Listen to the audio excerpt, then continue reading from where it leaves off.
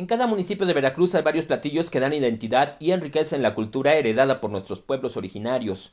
Entre estos, los bocoles hechos por cocineras tradicionales de Papantla que llegaron a Coatepec para deleitar a los asistentes del encuentro cultural del orgullo veracruzano.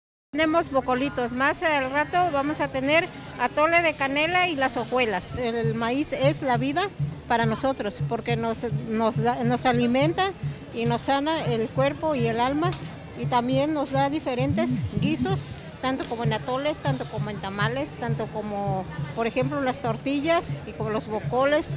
Hay muchas cosas que preparar con el maíz.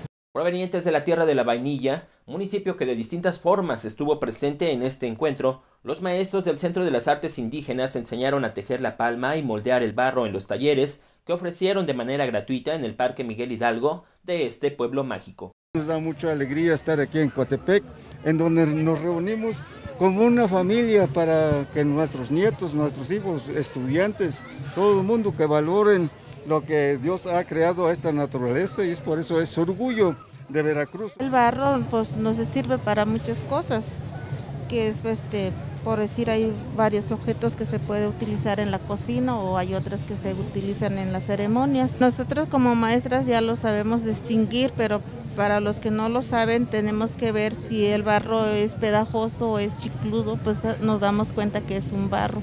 Chicos y grandes aprendieron así a moldear el barro para hacer distintos utensilios, conocimiento que a la vez transmitirán a otras personas. Es que estoy aprendiendo y pues es muy interesante, ¿no? Yo soy maestra de preescolar y la verdad que esto pues apoya mucho a los niños, ¿no? En su primera infancia y pues no perdí la, la oportunidad de venir a aprender.